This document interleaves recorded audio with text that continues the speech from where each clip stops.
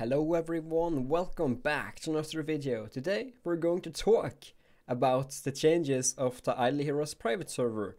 And there is many changes coming. Uh, so what Meh has done, he's working on revamping the monsters, making them much more viable in battle. And it will change how the teams will work in PvP.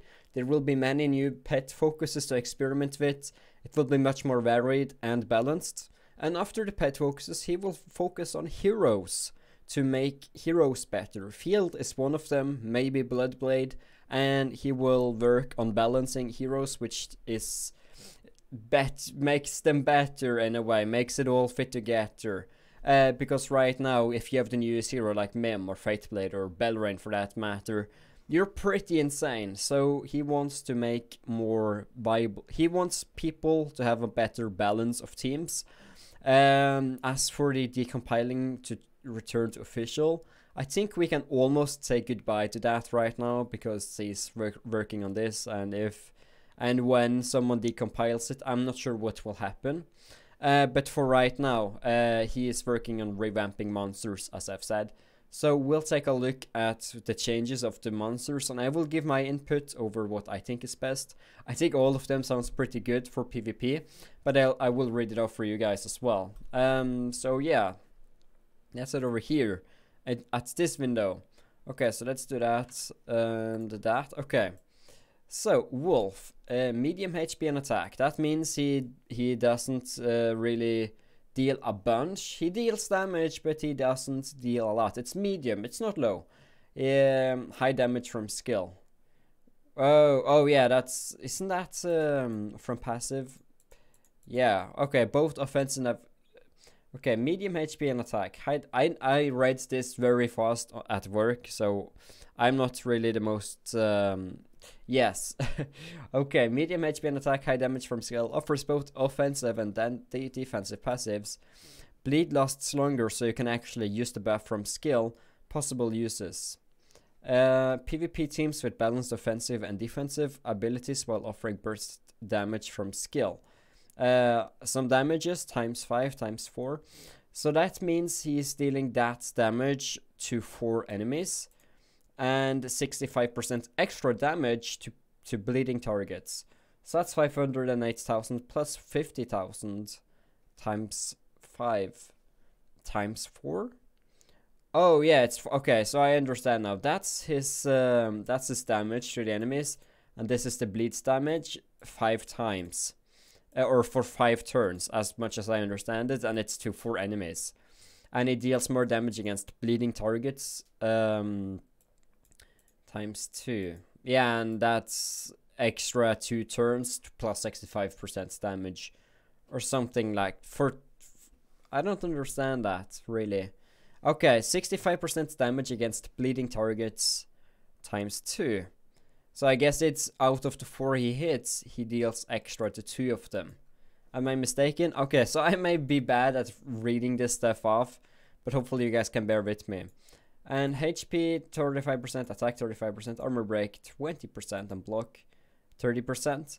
Um, I'm not fully sure what that means. Um, I assume it means that you get these stuff, these stats from passives. Or no. He gives these stats while he's using his attack. I, I assume that's what it does. So when he gives an attack or hits the monsters, you get a buff, right?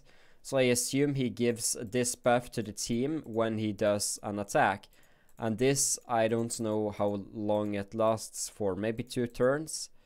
Um, I'm not fully sure. But anyway, this is just a base. Like, this is what it may look like. And you're going to experiment on your own. Okay, so that was the wolf.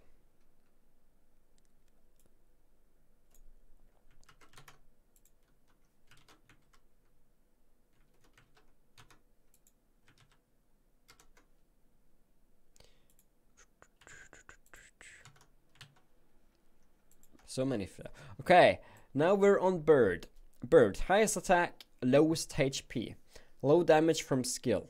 Offers high, high offensive ability, Glass Cannon Pet. Okay, so this basically does give you barely any HP, it seems. And uh, yeah, it's for a glass cannon team. You want to deal as much as possible in such a short amount of time of possible of in such a short amount of time. So that means it's not good for Brave Trial or even um, Okay, so it's not good for Brave Trial and probably Guild Wars. So this is not a Guild Wars pet. Um glass cannon damage reduce uh, helps against enemies with high damage reduce. Damage reduce. Okay, let's. Damage reduce cannot go below zero. Possible uses glass cannon PvP teams. Boss killers that uh, use damage over time effects. Okay, so this deals 250,000 damage for 4 turns in a row. And the 30% damage reduce, um, minus 30% damage reduce and minus 30 speed times 2 and this is for 2 rounds on 4 enemies. Okay, so these this is rounds. 25% attack buff to the team and 35% buff holy damage for 2 turns for 4 allies. Okay, so that means uh, all of this stuff. I'm not sure. I think this is probably passives or something. This has to be passives, because what else can it be? Okay, so I think these are probably passive. So it will give 50% attack, 20% HP, 20% holy damage, and 20% armor break. Because I don't, I don't see the pet giving this when it does a skill, because the, the what it gives when it does a skill is specified here. So this, I assume, means as passives or something like you can get that total from passives. That's what makes sense to me anyway. Plus speed. I actually, I'm, I'm very confused here. I'm very confused. Also, correct me if I'm wrong. I may be wrong in understanding this. I should have had someone experienced to talk to. Okay, so this is the bird.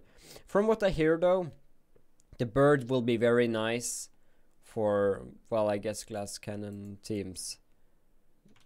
Um, I may give up. Give yeah, this isn't quality, man.